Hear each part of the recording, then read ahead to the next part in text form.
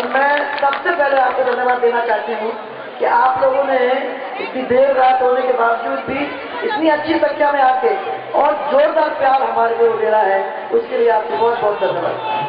साथ में हमारे साथ बुज़ुर्ग और भाई लोग जो भी आए हुए हैं, उनको भी मैं प्रणाम करना चाहती हूँ जो आप लोगों ने हमारा सबका भी बहुत बहुत खून बढ़ाया है।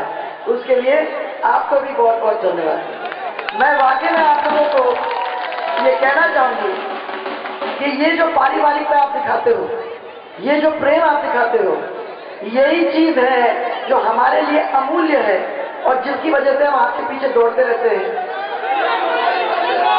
आपके पीछे दौड़ते रहेंगे, आप बस हमारे सर पे हाथ रखा रहो, आप अपना आशीर्वाद देते रहो, आप अपना प्रेम बनाए रखो और हम दौड़ेंगे, भागेंगे और ये राजस्थान का नया राजस्थान बनाने के लिए जो भी हमें करने की ज़रूरत है, आप सबको साथ लेके एक विकसित राजस्थान बनाने का एक पूरा पूरा कोशिश करेंगे।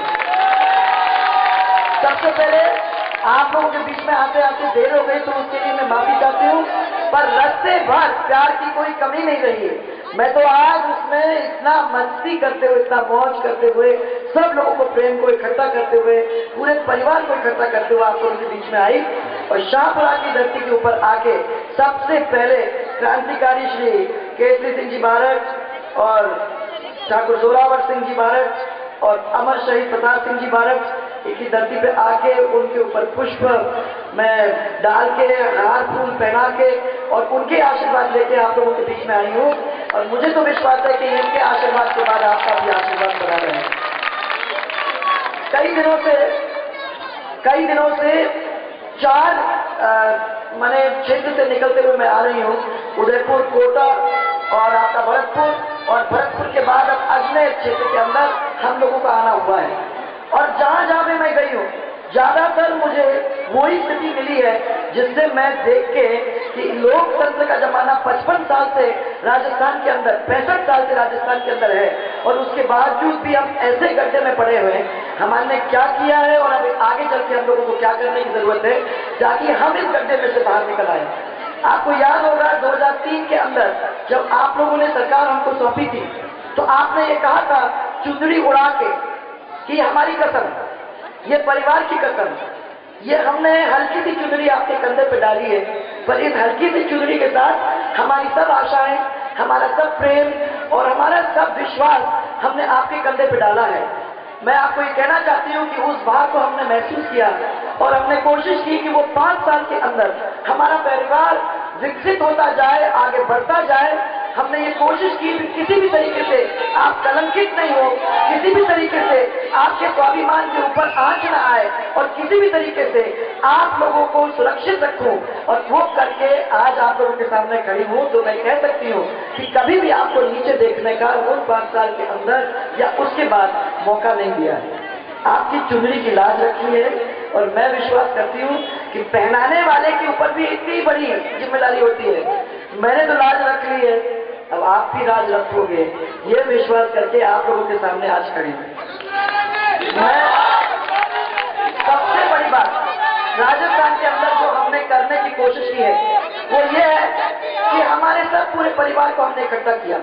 राजस्थान के अंदर राजनीति के अंदर ये कोशिश रही है कि, कि लोगों को बांट बांट के अलग कर दो एक दूसरे के बीच में दीवारें खड़ी कर दो एक दूसरे के बीच में झगड़ा हो जाए ऐसा हो जाए कि राजनीति जब खेली जाएगी तो एक के या दूसरे को वोट पड़ जाए हमने चला के राजस्थान के अंदर भारतीय जनता पार्टी की ओर से सबको ये कहा है कि ये सब हमारे परिवार है। ये हमारे परिवार की माताएँ बहनें हैं। ये हमारे परिवार के बड़े बुज़ुर्ग हैं और भाई हैं। इस परिवार के छत्तीस के छत्तीस को और सब जाति मज़हब को हमने गले से लगाने की कोशिश की है। एक परिवार के रूप में उनको बांधने की कोशिश की है, उनके बीच के जड़ों को हटाने की कोशिश की है, और इसी रूप में उनको विकसित करने की कोशिश की है। आज मैं आप लोगों को कहना चाहती हूँ कभी कभी शर्म आती है जब मैं देखती हूँ कि माता और बहनों के साथ किस तरीके से अत्याचार हो रहे हैं। माता बहनें आप अखबार पढ़ती हो। इस राजस्थान के अंदर हम लोग सड़क के ऊपर आराम से देर रात तो नहीं चलते। ये स्थिति हो गई है कि हमारी लड़की कहीं बाहर जाती है तो हम चिंतित होते हैं कि वो एक सही सलामत घर वापस लौट पाएगी कि नहीं? आप दो तीन दिन से अखबार पढ़ रहे हो तो आपने अखबार में पढ़ा होगा कि जयपुर के अंदर जो मूक बगीरों के साथ क्या हुआ, वो किसी से छिपी नहीं है। वो बेचारी लड़कियों के साथ जो अत्याचार हुआ और जो आठ महीने से अत्याचार होता चला आ रहा है, आपकी अगर वो बेटी होती तो आप क्या करते?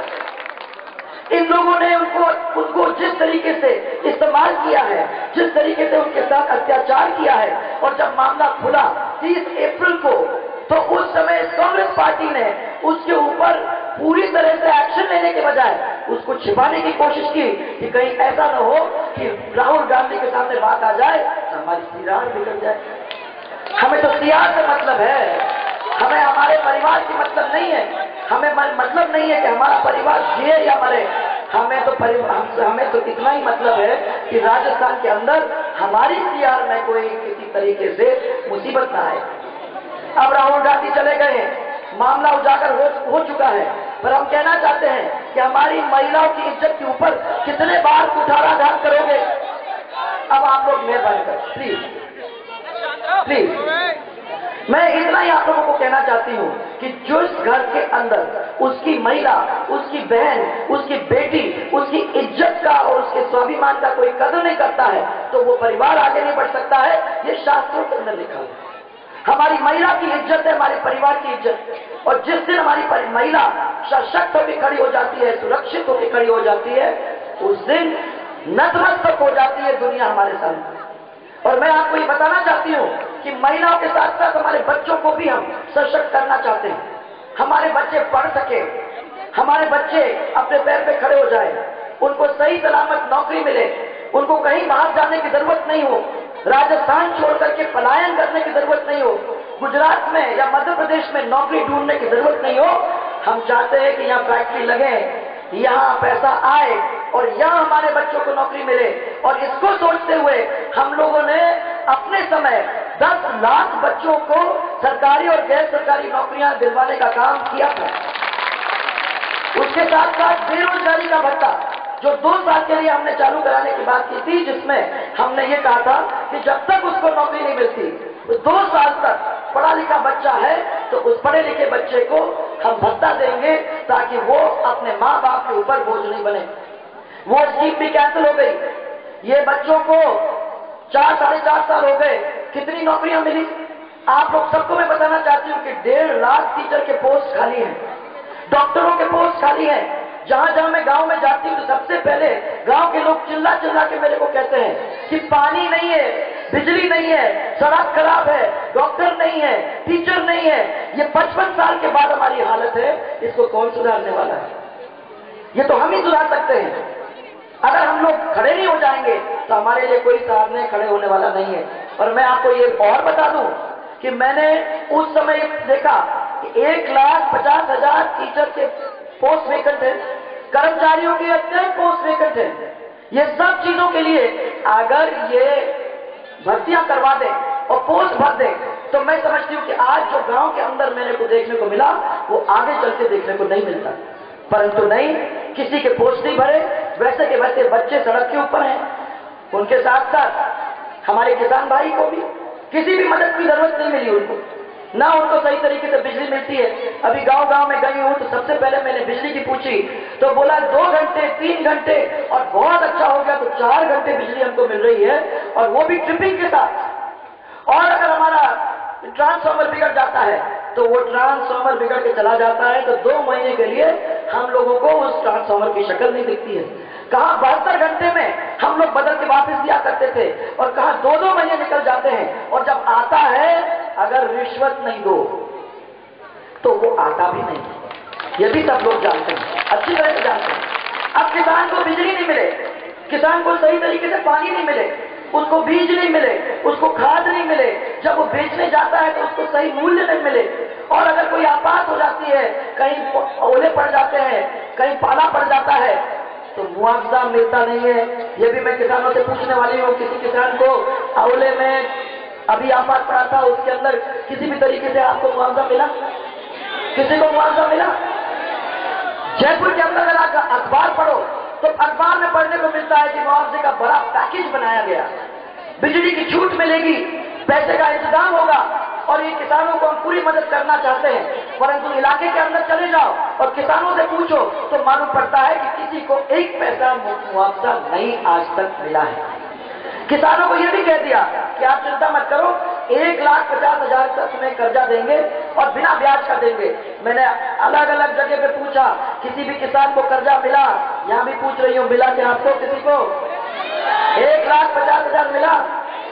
मैं कहीं कहीं पूछा तो उन लोगों ने मेरे को ये कहा कि साहब, एक लाख पचास हज़ार मिलना चाहिए था, पर बीस हज़ार, पच्चीस हज़ार, तीस हज़ार से ज़्यादा हमको नहीं मिला। क्यों? रिश्वत में गए। किसी के जेब में चला गया। ये किसान आत्महत्या की कगार पे आके खड़ा हो गया है, जो कभी राजस्थान के अंदर नहीं हुआ। आज वो किसान की स्थिति हो रही। तो हमारे बच्चे दुखी, हमारा परिवार दुखी हमारा महिला दुखी, हमारा किसान दुखी तो राजस्थान के अंदर इस चार साल के अंदर हुआ क्या क्या काम हुआ है? कोई हमें बताए? भ्रष्टाचार, जेब भरना, ये कांग्रेस का हाथ, आज आम आदमी के साथ, वो आम आदमी के साथ है, परंतु महिला का गला दबाने के लिए आम आदमी के साथ है। आम आदमी की जेब काटने के लिए साथ है। आम आदमी को मुश्किल में डालने के लिए साथ है। हमें ऐसे आम आदमी के कांग्रेस के हाथ की ज़रूरत नहीं है। हम आम आदमी कितने भी गरीब हो, हमारे अपने स्वाभिमान है, हमारी इज़्ज़त है, और हम भूखे सो जाएँगे, परंतु हम अपने इज़्ज़त के साथ किसी को खेलने नहीं देंगे। और हमने ये तय कर लिया है कि आने वाले समय के अंदर हमें इस हाथ की ज़रूरत नहीं है। हम इस हाथ के बिना हमारी तकदीर को बना के छोड़ेंगे, राजस्थान को विकसित बना के छोड़ेंगे और उसमें हमारा पूरा परिवार मिलकर चलेगा। ये मैं आपको विश्वास दिलाना चाहती हूँ। माता बहने, अभी मैं ये पूछते आ रही हूँ कि नरेगा का काम कहाँ कहाँ चल रहा है, कोई बताए? भारतीय जनता पार्टी के टाइम में नरेगा 26 लाख लोगों को फ़ायदा देता था 26 लाख लोगों ने परिसंपत्तियाँ बनाई और वो परिसंपत्तियाँ जो बनाई, उसने राजस्थान को मज़बूत बनाया। और लोगों को सौ सौ रुपए, कितने बेशुमार लोगों को सौ सौ रुपए मिले। और पूरे देश के अंदर नंबर एक अगर कोई था तो राजस्थान था महानरेगा के कार्य में, ये पूरे देश के बाद मानते आज महानरेगा के साथ क्या हुआ? एक लाख पच्चीस हज़ार आदमी से ज़्यादा को नौकरी में लगाया नहीं है। महानरेगा के तेरह हज़ार करोड़ रुपए कौन खा गए? तेरह हज़ार करोड़ रुपए का गबन इधर से उधर मालूम नहीं पैसा कहा गया। यहाँ तो सौ हज़ार में नहीं खेलते, ये तो लाखों में खेलते हैं। ये तो बड़ा काम है। और लोगों से पूछा कि जिनको नौकरी मिली, उनमें से कितनों को पूरा सौ रुपया मिला? तो सबने हाथ ऊपर करके कहे कि कहीं बाईस रुपए, कहीं पच्चीस रुपए, कहीं तीस रुपए। और एक जगह में तो मज़ाक में एक पूरा रुपया मिला समझो आप। कि उसने काम किया तो उसको पूरा एक रुपया मिला। कितनी खुशी की बात है। ये कांग्रेस सरकार ने पचपन साल के बाद हमारी इस हालत में डाल के हमें रख दिया है। एक तरफ़ आपका मध्य प्रदेश, वहाँ दस साल दिए वहाँ की जनता ने उनके मुख्यमंत्री को। तो उस मुख्यमंत्री ने राजस्थान की जैसे नहीं, परंतु देश के नक्शे के ऊपर मध्य प्रदेश को लाके छोड़ दिया। उधर आप गुजरात के मुख्यमंत्री को अच्छी तरह से जानते हो तो गुजरात के मुख्यमंत्री को पूरी तरह से पंद्रह साल दिए और पंद्रह साल के अंदर गुजरात देश के नहीं, दुनिया के नक्शे के ऊपर आके रह गया है। मैं आप सब राजस्थान के लोगों से पूछना चाहती हूँ कि जैसे पचपन साल हम लोगों ने दिया एक ही परिवार को और एक ही पार्टी को, मैं इसलिए कह रही हूँ कि भैरव सिंह जी का समय निकाल दीजिए, हमारा समय निकाल दीजिए। तो पचपन साल अपन लोगों ने एक ही पार्टी को, एक ही परिवार को दिया और उन्होंने हमको गड्ढे में डाल के रख दिया। मैं यह सब जवानों से ये पूछना चाहती हूँ, जो यहाँ बैठे हैं, आपको गुजरात जैसे होना है कि आपको राजस्थान जैसे अब समय नहीं बचा। अब समय नहीं बचा। बच्चे बड़े हो रहे हैं और जो भी बच्चे हैं, वो सब कहते हैं कि हमको राजस्थान का निर्माण करना है। हम चाहते हैं कि राजस्थान को विकसित बनाने में हमारा भी हाथ हो। परंतु हमें कोई मौका दे। जब कोई मौका ही नहीं देगा, जब हमको ऐसे दबा के रखेगा, जब हमारी ज़िंदगी निकाल देगा इतनी मुसीबत में कि हम भाग भाग के ये देख रहे हैं कि कौन से कुएँ से हमको पानी मिलेगा, कि हैंडपंप आज चलेगा कि नहीं चलेगा, कि हमारे बीच में, हमारे परिवारों के बीच में झगड़ा होगा क्या? आज हम जब पानी लेने जाएँगे, ये चीज़ों के अंदर हम पिसेंगे कि हम अपने प्रदेश को आगे ले जाने का काम करेंगे। बताओ आप क्या चाहते हो? आगे ले जाना चाहते हो ना अपने प्रदेश को? तो फिर ऐसे तो हमें नहीं पढ़ना है। आज मैं आपको बता दूँ कि आईएएस के परीक्षाएँ चल रही हैं। सब लोग जानते हैं कि उसकी तैयारी हो रही है। और उसके चार दिन बाद आरएएस की परीक्षा आप करोगे।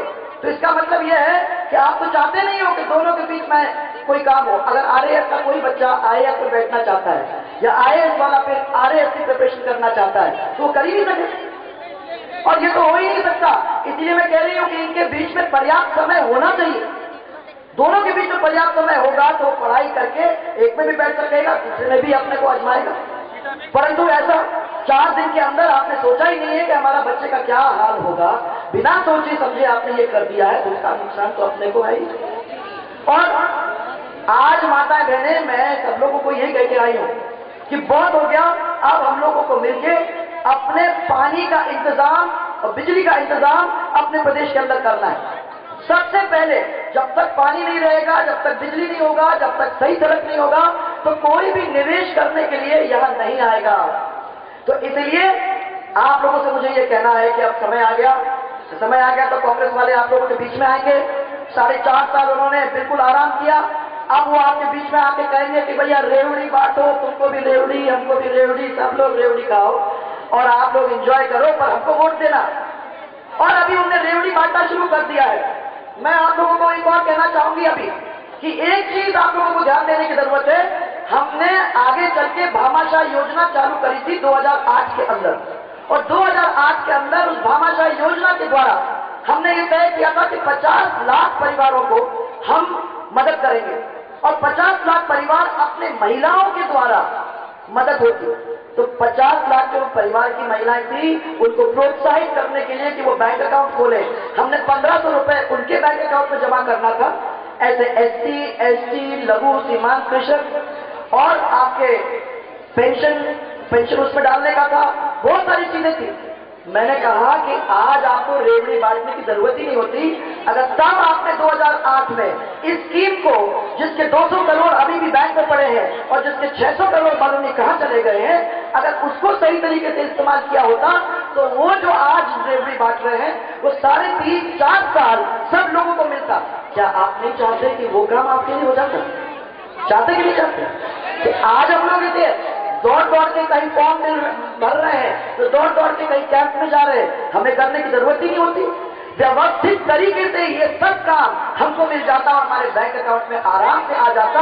तो 2008 की बात है। तो यहाँ मैं सब हमारे जो कार्यकर्ता हैं और हमारे जो परिवार के लोग बैठे हुए हैं, उन सबको मैं ये कहना चाहती हूँ कि बहुत सारे काम हम लोगों को मिलकर करना है। ये आपके बीच में आएँगे, लोगों को परेशान करेंगे, लोगों को डराएँगे, लोगों को धमकाएँगे, अभी गुलाब जी के साथ क्या नहीं करेंगे? आप मेरे को बता दीजिए कि हम जानते हैं कि वो एक ऐसा व्यक्ति है जिसने कभी किसी को किसी भी तरीके से नुकसान नहीं पहुँचाया। आज ऐसे व्यक्ति को, क्योंकि उनको लग रहा है कि भारतीय जनता पार्टी को पूरी तरह से जनता अपना मान के उनका साथ दे रही है तो हमने सोच लिया कि चलो इस भारतीय जनता पार्टी के अंदर भी तितर बितर करने की कोशिश करो। किसी को जेल में डाल दो, किसी को दबाव में ला दो, किसी को परेशान करो। पर मैं ये कहना चाहती हूँ कि हम कोई परेशान होने वाले नहीं हैं। हमने संकल्प लिया है कि हम जनता की लड़ाई लड़ने की तैयारी में खड़े हैं और उस संकल्प के पीछे हमने ये भी तय कर लिया है कि गुलाब जी को करें, हम लोगों को करें, किसी और को करें। हम सब लोग आपके सेवा के लिए, आपके बीच में खड़े होंगे। बस साथ चलो। और एक नया राजस्थान का निर्माण करने के लिए हम दोनों मिलकर साथ चलें। और मैं आपको विश्वास दिलाना चाहती हूँ कि जिस दिन हम वो काम करेंगे, आपको और हमारे को और हमारे विकास को कोई भी नहीं रोक सकेगा। ये आप लोगों को मैं विश्वास दिलाना चाहती हूँ। तो मैं पूछ रही हूँ कि नए राजस्थान का निर्माण करना है कि नहीं करना है? इस नए राजस्थान में हमारे बच्चे आगे बढ़े, पढ़े, लिखे और उनको रोज़गार मिले। हमारी महिला सुरक्षित हो, हमारे किसान मज़बूत हो जाए। ऐसा राजस्थान आपको चाहिए कि नहीं चाहिए? अगर आपको चाहिए तो हम लोगों को उसकी लड़ाई लड़नी है, क्योंकि एक अकेला व्यक्ति नहीं कर सकता। एक व्यक्ति के साथ पूरा परिवार लगेगा। तो मैं आपको विश्वास दिलाना चाहती हूँ कि कोई उसे रोक नहीं सकता है। तो आने को तैयार हो। काम करने को तैयार हो। लड़ने को तो तैयार हो ही। तो मेरे साथ एक जोरदार नारा दो। उस नए राजस्थान को बनाने के लिए ये पूरा परिवार लगेगा। और मैं आपको सबको विश्वास दिलाना चाहती हूँ कि डरने की ज़रूरत नहीं होगी, हम लोग लड़ेंगे और हमारा काम होगा। इसलिए जोरदार नारा मेरे साथ। भारतीय जनता पार्टी। राम। इतनी देर से बैठे जोरदार नारा। भारतीय जनता पार्टी।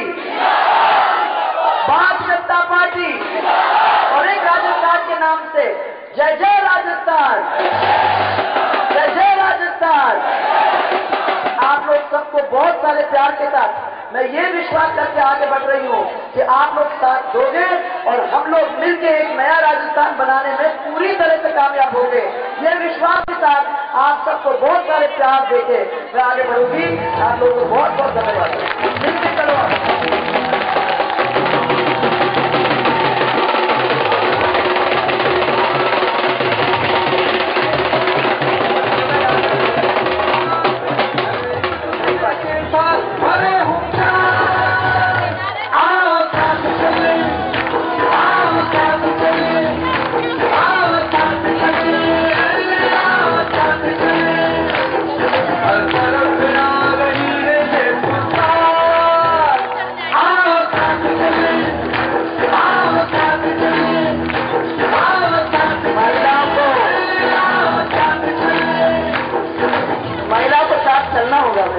तो नहीं होगा काम सब महिलाओं से मेरे हाथ आना है। घोटाले ही हैं सब जमा कर रहे मिलकर काला धन